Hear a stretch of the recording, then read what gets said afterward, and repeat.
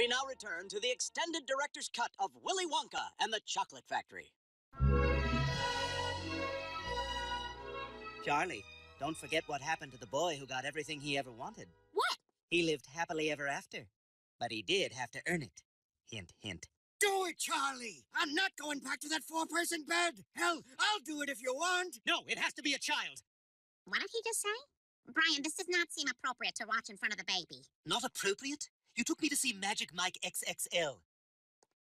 Yep, this one's wet. Uh, this one too. Also wet. Huh, this one's dry, but the back of the seat in front of it is wet.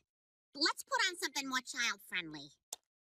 Time to do Tootie Two with the turtlenecks. Oh, God, no, these guys are horrible. Do you kazoo? I often do. When I am blue, I do kazoo. Toot tooty too. Goes my kazoo. I will kazoo.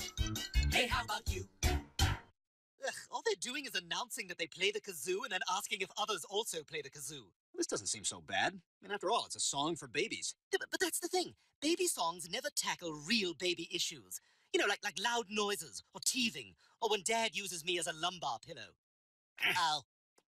Ow. Ow. Ow. Ow. This thing works better in the car.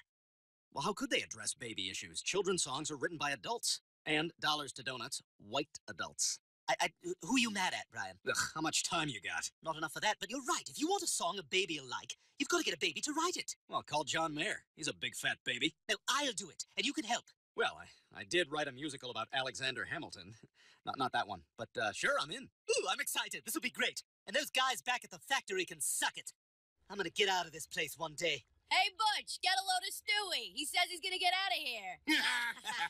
You don't know me, man. I'm different. I got ideas. Hey, Butch, you hear that? Stewie's got ideas. Shut up! I'm gonna go across that river and make it to the city on the other side. I'm gonna be a singer. Buble over here says he's gonna be a singer. Hey, Buble, I got a tune for you to sing. It's called Get Your Ass Back on the Forklift. Lunch is over. Hey, Stewie, don't listen to those guys. Follow your heart. Shut up, Butch. You're the loser of this crew. Hey, guys, you hear that? Butch told me to follow my heart.